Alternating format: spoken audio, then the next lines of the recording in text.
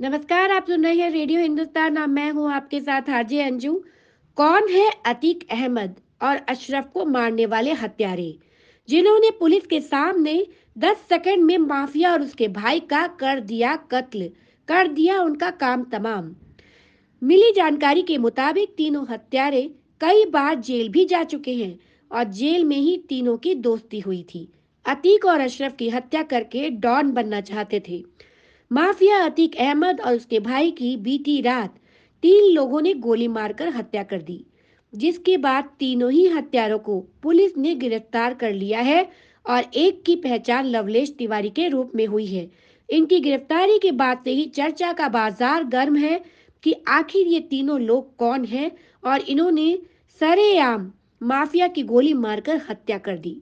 वही लवलेश तिवारी के लवलेश के भाई वेद ने मीडिया से बात करते हुए कई खुलासे किए हैं। उन्होंने बताया कि लवलेश को नशा करने की आदत है, वह नशा करने का आदि है।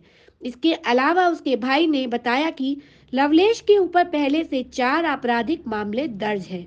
करीब तीन से चार साल पहले वह लड़की को थप्पड़ मारने के आरोप में जेल गया था। बुरी आदतों की लगी हुई थी उसको लत।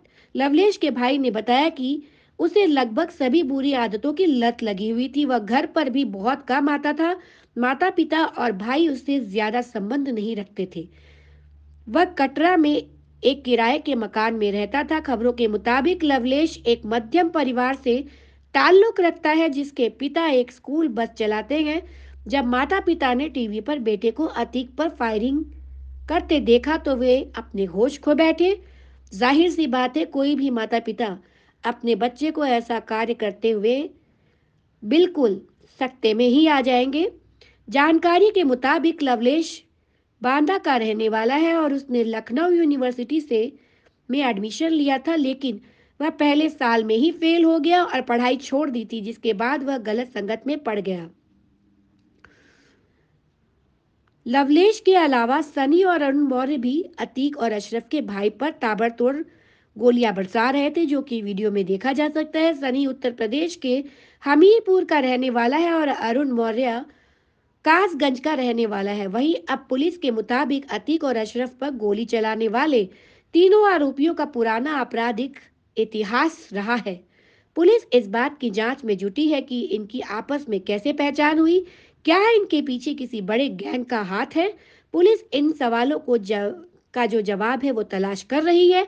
वही तीनों आरोपियों ने पुलिस को बताया कि अतिक अहमद का पाकिस्तान से कनेक्शन था। उसने और उसके गैंग के लोगों ने तमाम बेकसूर लोगों की हत्या की थी। अतीक ज़मीन हड़पने के लिए हत्या करता था और विरोध में गवाही देने वालों को भी नहीं छोड़ता था। उसका भाई अशरफ भी ऐसा ही किया करता था, इसलिए हमने दोनों को मार डाला। जेल में हुई थी तीनों की दोस्ती।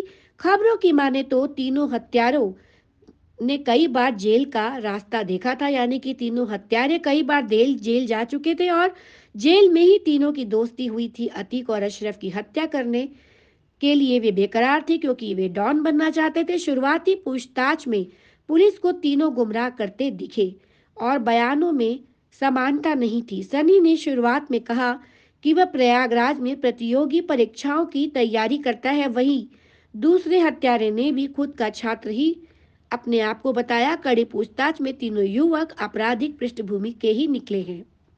तो इसी के साथ मैं लूँगी अनुमति, रेडियो क्राइम में आज इतना ही। फिर से नई खबर लेकर आपके सामने हाजिर हो जाऊँगी, तब तक के लिए नमस्कार।